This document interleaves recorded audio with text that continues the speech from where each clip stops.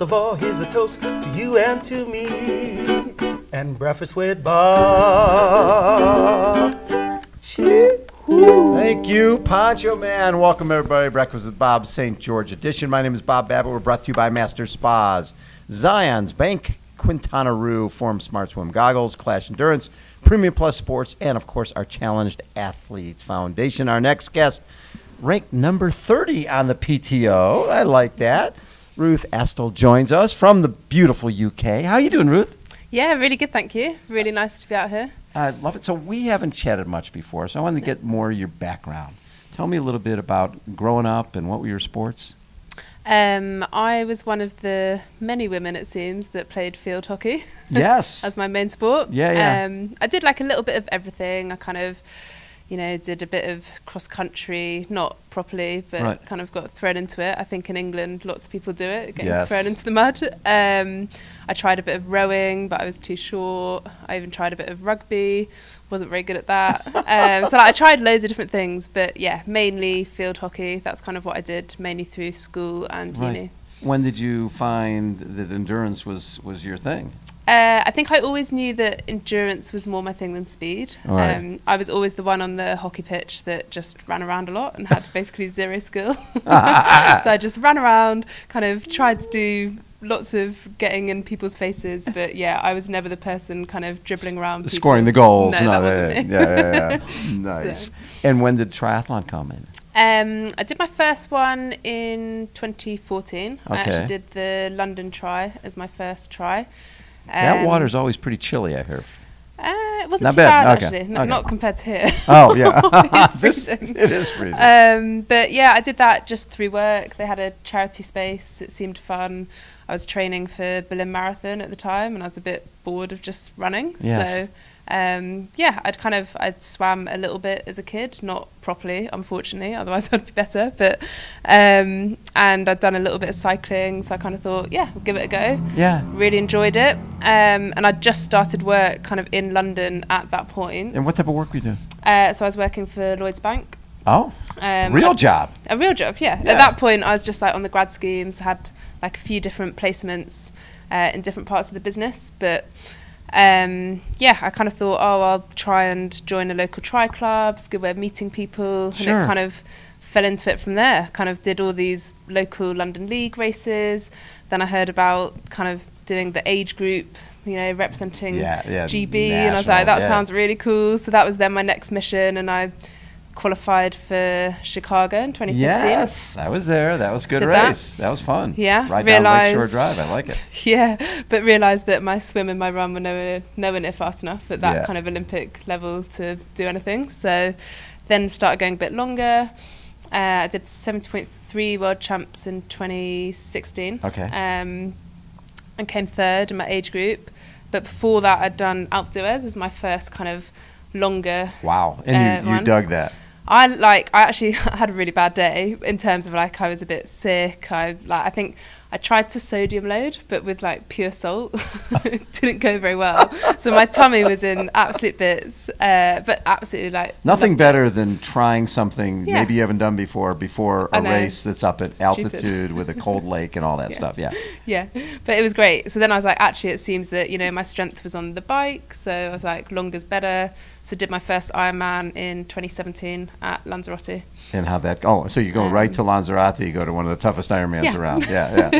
Wes, Lan- I see a, Um, see a pattern. Yeah. Yeah, yeah. And how that? And, but you love that one too. Uh, I actually know. Again, a bit of a disaster. Um, I was sick in the swim, sick on the bike, and spent the whole marathon trying to find every portaloo I could find. Yes. Um, still managed to. There weren't many women in my age group racing, so Yeah. I managed to come third.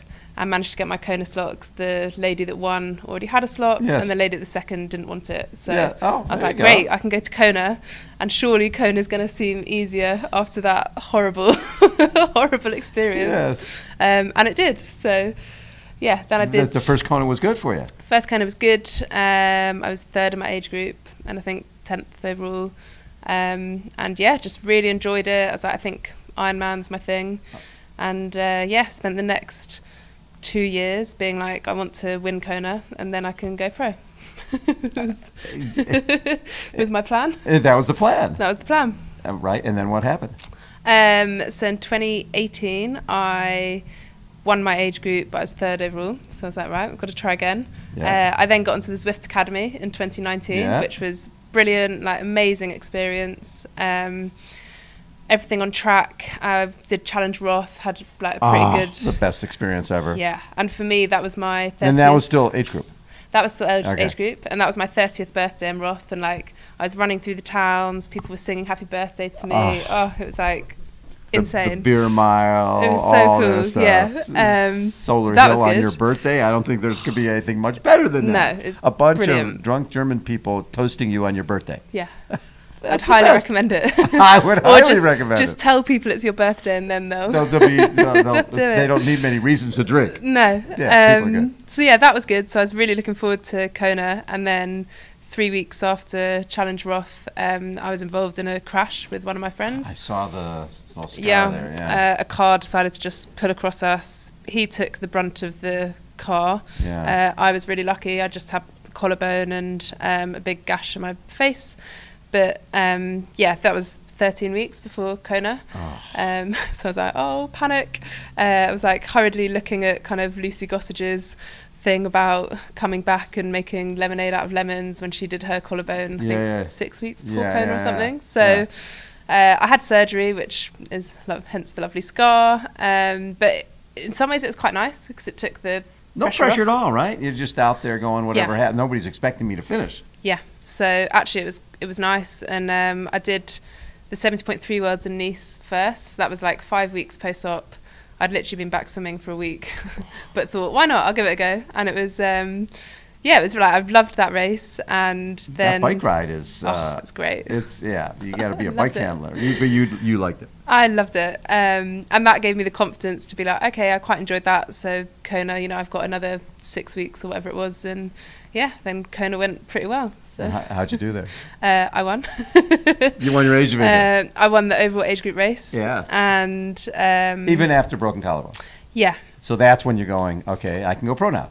Yeah, and I think like I won it um, in a way that made me feel that I can go and be competitive, as opposed to like I'm gonna go and be a pro and I'm gonna be hanging off the back and it's Right. not gonna be very fun. You went off the front.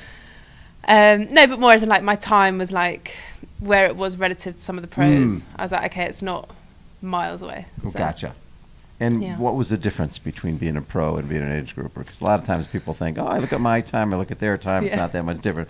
It's a different game. Yeah, hundred percent. I think um, as a female pro in particular, like there's a lot less of us, so uh, you actually spend most of the race on your own, Right. uh, or like you might Yeah. have one or two people around you, but generally it's kind of way more. This is a solo race, whereas as an age group woman, you're generally surrounded by men.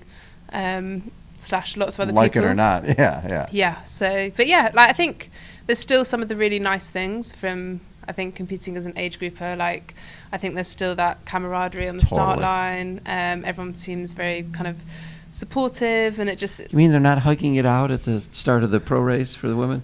yeah that's what i mean like it's the same It's the same. maybe not quite like hugging in but, covid but, but, but, times there's, but I still think But- the thing that's the same, it's still you against you. Yeah, right? Age 100%. group or pro. Mhm. Uh, You're not going to psych somebody out. no yeah, don't yeah. think so yeah, it's, it really is So, a, it's, i- i- yeah, you against the course at Yeah. the end of the day. yeah Yeah, very fun. And so, Mm-hmm. but you en- enjoyed making that move to pro. Um, I mean, I did, but then obviously COVID hit, and I was Yeah, like, no, "Oh, I've uh, made an absolute shocker here, turning pro just as COVID has uh, exactly. come in." Um, but yeah, fortunately, in some ways, I think it helped. Like, it gave me more time to improve to train, everything. yeah. Um, and then obviously we had various races getting put on, so I still managed to go and get a bit of experience. Yeah. Um, like I came out and did Florida um, in 2020. Mm-hmm. And yeah, like again, it wasn't like a brilliant race, but that's actually where I got my slot for here uh, back then. Yes. Um, but again, it was just like a good experience. Really enjoyed it. Um, I was actually staying with Kat, so to see her win was like epic. And um, yeah, I think from there, I feel like I've come quite a long way in terms of where I'm at. So yeah. We'll see. And well, and from that that experience, uh, you've obviously been on this course a lot. So talk a little bit about the challenge of this course. Um, so I've only actually seen the back part of the bike. Okay. That's kind of all I've done. So, Yeah. I only got here Friday evening. Um, but yeah, it's uh, I think perfect for me in terms of the bike course. Well, yeah, you're talking um, Lanzarote. Uh, you're talking up the races you've done. Yeah, like it's just it's a tough bike course. Like for me, I you like. much prefer that. Right. Um, and I think there's quite a lot of potential for it to be windy as well. Which again, like I'm quite aero, so it suits me. Nice, nice. if there's a bit of wind, um, but yeah, I think ultimately it's just it's going to be a really really challenging race. So it's going to be who can be patient, who can kind of try and play a bit of a smart game, I guess, and um, yeah, hopefully one of them is me. I, I like that. Uh, then you just come off of 70.3 Ca- uh, California, Mm. Oceanside. I'm sure you're not very happy with ninth, but you're racing all the All the IT, yeah, all the speed demons, Yeah. right?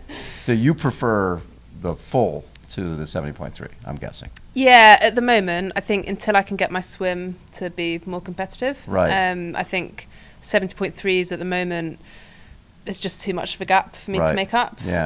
Um, and again, like even with my run as well, you know, like I think it's getting there over the Mm. full distance, but you know, I'm not running one sixteens, one seventeens yet. No. Yet. Yes, but you'll Soon, get there. hopefully. now, did you, did you have a camp up in Flagstaff? yeah. So just spent four weeks in Flagstaff, which was Unbelievable, right? amazing. Absolutely loved it. You're yeah. up at altitude, and Mhm. there's trails forever. You can Yeah. ride to your heart's content. Just great build up for this. Yeah, it was amazing. And I think actually the roads are quite similar to here, like Uh-huh. just long, rolling. It was really windy basically every day. Um, so yeah, it felt it felt like a really good prep kind of rolling into here. What, what are your goals for Saturday? Oh, uh, I mean the main goal is actually just put together like a complete performance. Mhm. Like I still don't think I've done an Ironman where I've done like a really solid swim, bike, and run. Yeah. I've had a couple where like the bike's been really good, but the run's not, or the bike's been horrible and then the run's been quite good. So uh, I think trying to get the balance of actually, you know, doing a solid bike and being able to have a solid run off it. Um, but yeah, and I hope that if I put all that together, that puts me somewhere in the top five. Top five. There you go. There you go. Yeah. And so the rest of the season, besides this, is what? Um, so I've got a few bits that I don't think I can talk about yet in Oh, okay. June. um, I don't think it will take many people much guessing to work out what that is. Um, but then I might do Challenge Roth again. It depends a bit on how this goes, how I recover, if Yeah. I want to do another Ironman. Um, hopefully the PTO race in Uh, uh, Canada. Cup. Yeah, yeah. Oh, Canada. Oh okay. no, I've, Canadian. Got zero chance of qualifying for Collins Cup Okay. unless they give us a British team. But Ah. even then, I'd probably struggle. So. um, and then But Canadian Open's a possibility. Canadian Open, definitely. I think that looks like a great race. Yeah. Uh, and then, not sure about Dallas Open. It's probably a bit close to Kona for Yeah. me. Um, but probably a couple of other 70.3s, and then hopefully head out to Maui for like four weeks before Kona. It's like rough plan. Yeah, you got a Um, tough life going on here. oh, let's go to Maui and let's go to Flagstaff and let's just ride, run, and swim. Do you miss the banking lifestyle? Uh, I'm still actually working two days a Are week. you really? Mm. Yeah, mainly to do something kind of mentally keep me occupied. But Yeah. I'm on a, a very flexible contract where basically, you know, the chunks like this seven weeks I'm not working Right. because we're not we can't work from America because of tax. Right. Um, but I can work from Europe, so like European camps, I can still work Mm. a little bit. Um, but yeah, so I still I still feel like I have my toe kind of dipped in for Well, a bit that's of something good. different. Yeah. Love it. Thank you so much, Mm, Ruth. Appreciate taking time. And uh, you know what? You- This you will love this course. Mm. Yeah, it's it suits you. You like tough. I like tough. You like tough. Yeah. I love it. Poncho Man, take us out. Here's to the golden moon. Here's to the silver sea. Most of all, here's a toast to you and to me. And breakfast with Bob. Thank you, Poncho Man. we'll catch you next time.